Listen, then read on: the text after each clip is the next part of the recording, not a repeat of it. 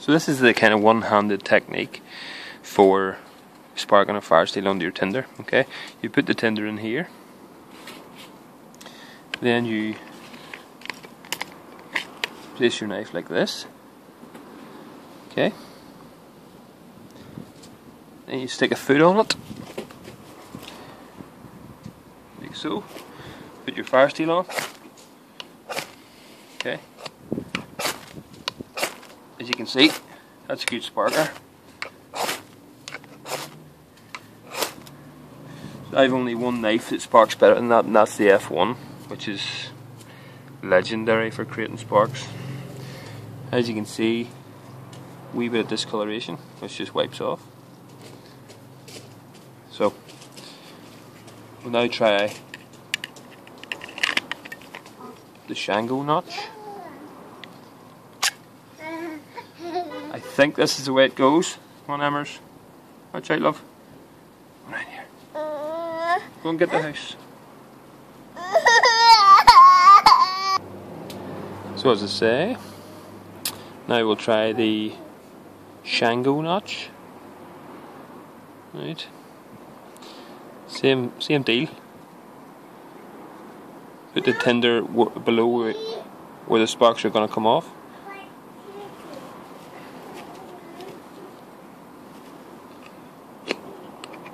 Dear.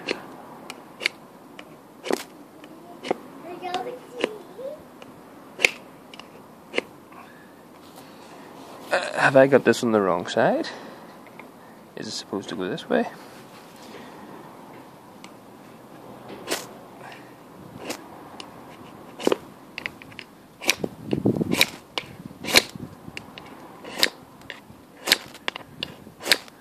So I would put my my tinder in here.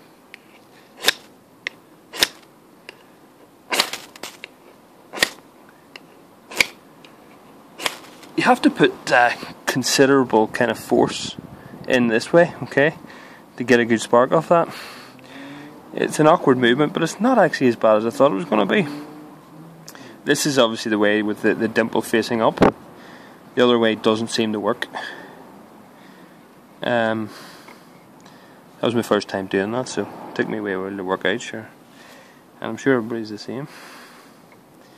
There you go that's actually nearly an easier way to do it than with your hand. Because if you imagine having to hold the knife like this okay you can see you can see the problem here right?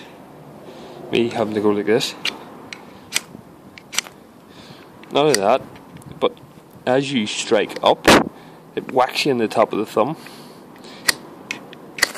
Okay that's not actually that pleasant You can get a wee bit of a spark that way, but it's it's not as not as positive as this. Okay, which is you know this is the way I this is the way I normally do it. Okay, you hold this in a good grip like so.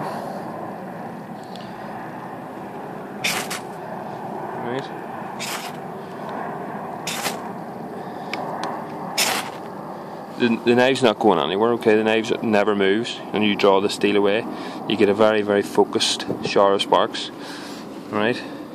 You can also do it this way by pressing down with your thumb on the back of this thumb, which is pushing down the knife, okay?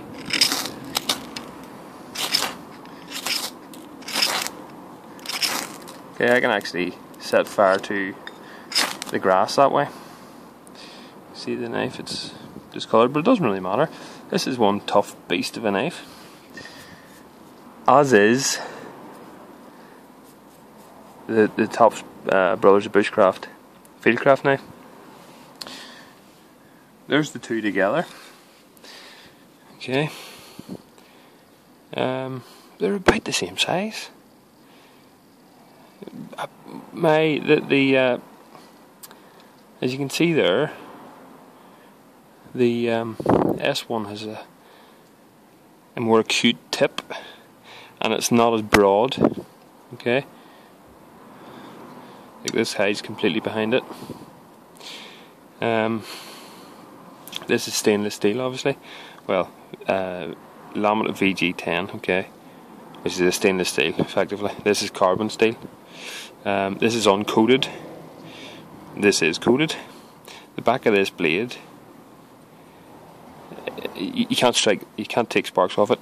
You can get a few off here, the tip here, and you probably could get absolute crackers off there, but I'm not going to do that. In an emergency situation, that's where I would probably go for there. Okay, you, you don't really use that little portion of your knife. Um, very very seldom. You use all this obviously in the tip, but that's a portion that I never really use. So there you go. Just compare that as well. The width of the handles. The uh, Brothers of Bushcraft is actually a lot wider. The blades, are, I think the S1 is thicker down here, but it thins out a lot towards the top, as you can see.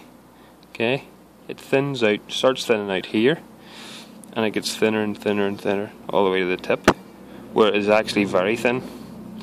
Alright, that's what I like about that blade. Anyway, there you go. Not actually that bad, okay, I just don't like to have the blade out, and with the one-handed technique as I showed you, it's, it's pretty effective for sharing sparks. Next time I'm going to test this bad boy out with a bow drill set, see how it goes.